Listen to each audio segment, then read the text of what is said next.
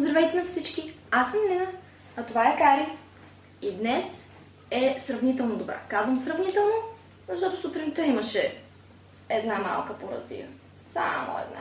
Бях тагната от Краси, от Краси с World да направя тагът Pull Book Tag. Сещате си този, който Райс от Четът след мама и Цвети Владимирова направих съвсем наскоро. И реших, че искам да го направя. Хареса ми, допаднаха ми въпросите. Така че да започваме. Днес няма прическа. Развали се. Бяха направила, ама я развали. Ежедневните ми проблеми. Прическата на кучето. Първият въпрос е студена вода или книга, в която си се гмурнал с нетърпение, но той е разочаровала. Така, по принцип винаги съм се придържала към фразата, че книгата е по-добра от филма. И преди много години, когато гледах интервю с вампир, сещате се, Брат Пит, Том Круз, Антонио Бандерас. Не бях кой знае колко впечатлена по принцип от филма, а, но една моя приятелка беше малко по-голяма от мен и спомена, че е имал книга и бях проявила интерес да чета.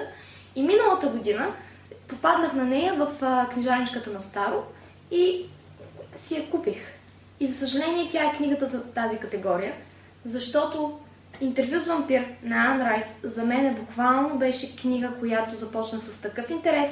Първите 50 страници вървим добре, няма проблеми. Обаче след това минаваме на излишни описания, излишни описания, депресия, депресия, депресия, депресия и така поне 100-150 страници. После имаме пак някъде 20 на 30 страници някакво движение, някакво действие в цялата история и преминаваме на същата работа. Депресия, депресия, депресия, депресия, депресия. И за мен тази книга се оказа едно голямо разочарование. А, буквално наистина ме вкара в книжна депресия, както казах. Наясно съм защо авторката е написала тази книга и виждам и посланието й, но за съжаление за мен тя ми действаше страшно, страшно депресиращо и съм на 100% убедена, че повече няма да я прочета. Това беше без да искам само да отбележа. Вторият въпрос е, още две дължини и излизам, или книга, която не си могъл да оставиш преди да завършиш. Изборът ми за тази категория е една детска книжка, която наистина ме изкара от депресията, която ме вкара тази книга, а именно Матилда на Роал Дал. Матилда е изключително сладка, просто е а, излишно да коментирам тази книга. Тя се води един вид културно наследство в детската литература и мисля, че всяко едно дете трябва да я прочете. Така че ако сте родител, гледайте да набавите тази книга за библиотеката на детето си. Чете се изключително бързо, интересна е и, а, как да го кажа, няма скучни моменти в тази книга. Третата категория е хлор или книга, от която ти е залютял на очите, т.е. разплакала те или те е разтревожила. Изборът ми тук е една малка книжка, която много ме разчувства и дори си мисля, че единственото ревю, което намерих на тази книга, беше в Книголандия. И става дума за Няма да получите омразата ми на Антуан Лейри. Тази книга не се заблуждавайте, че е мъничка.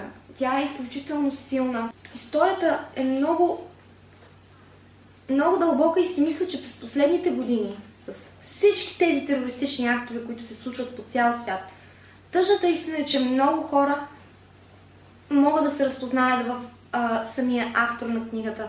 Това е много емоционална книга. О, нека преминем към четвъртата категория, която е сам на шезлонга или книга, която не ти е харесала, но всички други харесват. Бих могла отново да се върна тук към интервю с вампир на Ан Райс, но не искам да се повтарям и затова тук да се спирам на а, 50 нюанса. Първата 50 нюанса сила, ако трябва да бъда конкретна. Втората също я прочетох. Набирам сили, емоционални сили да прочета и третата, за да я приключа най-накрая тая тъпа поредица. За мен е тъпа сега, какво да направя. Помня, че преди време а, се разхождах из морската градина тук в Бургас с една приятелка и тя ми викаше а, не дай да бъдеш предупредена, книгата всъщност е много интересна и еди по си, еди що си.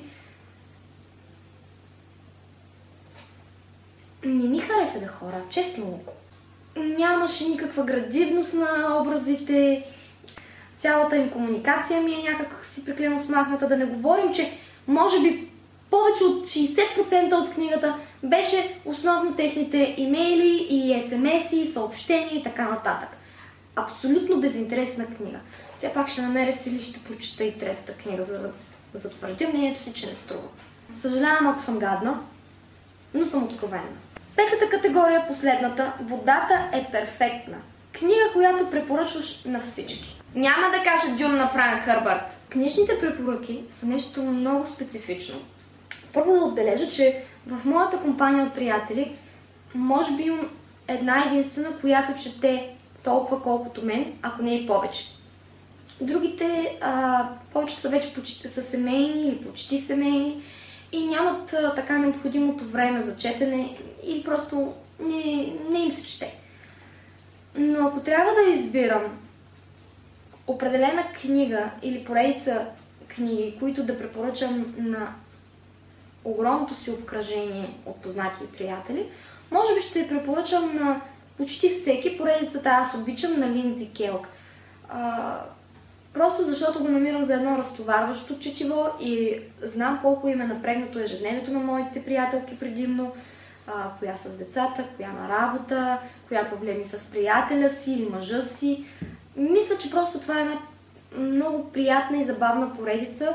А, сега, някои от нещата, които главната героиня Анджела прави, са ми малко нереалистични, но в други отношения а, ми се струва, че всеки може да се припознае отчасти с нея. А, като, например, в първата книга всеки може да се види като в началото на една нова връзка как стои. Защото точно така се описва. Във втората книга вече пък е а, непрестанния въпрос, ама ние официални ли сме, не сме ли официални, ти и аз наистина сме заедно, така нататък. Просто за мен тези книги демонстрират комичната страна на нашите ежедневни проблеми, когато имаме връзка. И затова, може би, точно тази поредица ще препоръчам на голяма част от приятелите и познатите си, както казах. Най-вече защото го показват по един неангажиращ начин. А, не се тормозяваш емоционално или психологически. Просто ти е весело, докато ги четеш. Приключих с тага. Кого да тагна? Обикновено предпочитам да оставя тага отворен, но тагвам Арали от Розрец World Бих искала да видя и нейните отговори. Ако не сте посещавали нейния блог, ще оставя линк отдолу към Facebook страницата и вярвайте ми, няма да съжалявате. Изключително силен дъжд се изсипа и при нас в Бургас. Но за какво снимам? А, сега, този видеоклип е един вид добавка, допълнение към тага Pull Book Tag.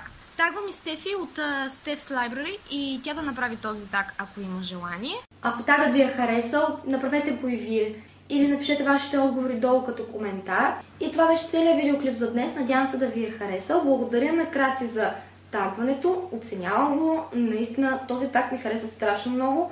Благодаря. Ако видеоклипът ви е харесал, дайте му един палец нагоре. И ако искате да видите още видеоклипове, винаги може да се абонирате за канала. Бутона е долу. Кари аз сме тук, ние вървим в комплект. Ние ще ви пожелаваме приятно четене и с вас ще се видим в следващия видеоклип. Чао!